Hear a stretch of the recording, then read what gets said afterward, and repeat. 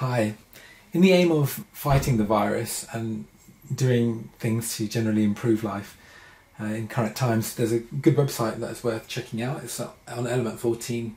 Uh, search for fighting germs. There's lots of information there. Uh, and as part of that, I tried build uh, building my own, creating my own uh, hand wash. So there's some information there that's quite useful. I think it was it was useful for me anyway. Um, so now I've got bottles of isopropanol. I can use that to. It's, it's got um, it's got some water in there as well, and a little bit of hydrogen peroxide. So you can use that for cleaning hands. Uh, and it does leave your hands feeling a little bit smooth, but you probably do want some hand cream as well after that too.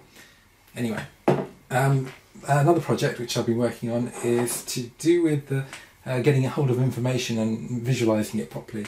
Uh, because if you look on websites, uh, in the UK at least anyway, the uh, the media is very biased towards the government, and you don't actually end up finding much useful information.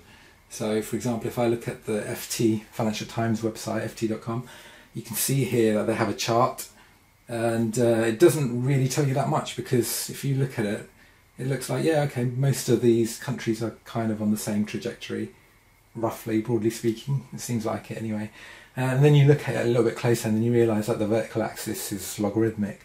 Uh, and sure, you know, some people will understand that, but a lot, a lot of people won't. At least they won't immediately recognise that. So you actually, it ends up being quite misleading. Whether that's deliberate or not, I don't know. But personally, I, I think it's it is deliberate. Um, also, you can look on government website for information too, and uh, you'll notice that the the UK one, as an example, only has information uh, for the UK. So you can't actually compare it to see how well the UK is doing in comparison to other countries as well, and whether it's actually learning the lessons from other countries. That information is not here at all. Uh, similarly, there's another UK website uh, page here. Just got some numbers here. I mean, I don't know who who bothered putting that information together. It's kind of useless because if you're not testing that many people, then uh, the information is is not as of, that much value. You, they ought to be actually putting a multiplier in there as well to indicate that actually there's probably 10, 20 or maybe 100 times as many people infected as, as we've actually measured. Then, um, so, so yeah, this was the kind of information that I could find. So I was not happy with that. Um, something that I would like to see is something like this where it's much more simplified. It's uh, it's not a logarithmic scale or anything, and then the behave the the uh, the kind of status of different countries becomes really clear, and you can start seeing the difference as well. And then you can zoom in if you want to, like here. So this line here, here is Spain, UK's up here. Uh, this green line, which shoots off the axis, uh, off, off the page, is Italy. Uh, this light green one here uh, ends up flattening off, and that's China. So you get a good, a, a much better picture, of a comparison between different countries.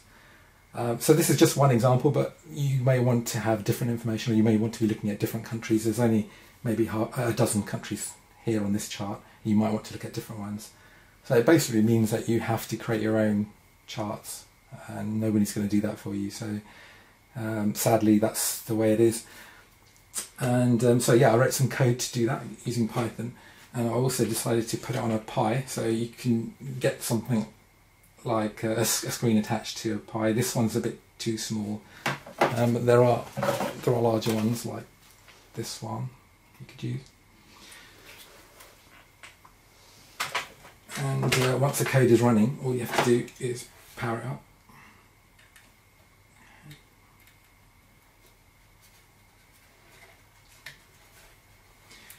And uh, there's no keyboard or anything attached. Uh, it's, it's been written so that it will just start up and start executing. So after about you know maybe 20 seconds or so, the the Pi actually boots up. Uh, that's the startup screen, uh, and then it'll soon uh, start running the script. And what the script does is uh, at the bottom it'll start showing a progress bar while it's waiting for the network to come up. See there, and then eventually uh, it will then fetch the data from uh, a, a, database, a John Hopkins database. Uh, it will start parsing the data and then display the information.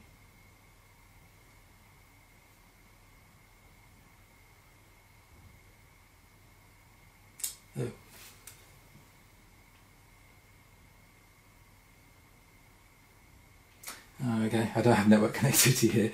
Um, let me try again, just moving over to here a little bit. I think the issue is my hand was actually holding the Pi right where the, the connection was. So if I restart that, shouldn't really do that, should do it from a shutdown command, but see if it comes up. A bit clearer to see here as well.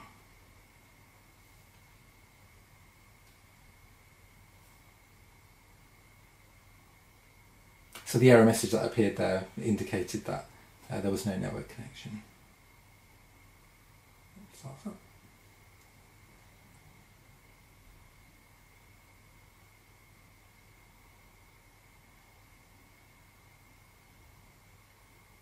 Should have tested the wireless connection from this distance. Uh, where I'm working, um, the, the network connection is not nearby. Okay, so there it is, and uh, there's some controls at the bottom as well, so you can zoom and pan the display. So this is the current chart as of today. So it's just freshly downloaded the data. So if I wanted to, I could uh, click the zoom button there, and uh, then I can just drag and start seeing the data in more detail. I can drag in a little bit more, drag in more, and then if I want to, I can pan that as well. So if I click on that, and then you just move around and start seeing the data. So there's actually, unfortunately, this screen is very small, so you can't see much. Plus, it's also portrait mode.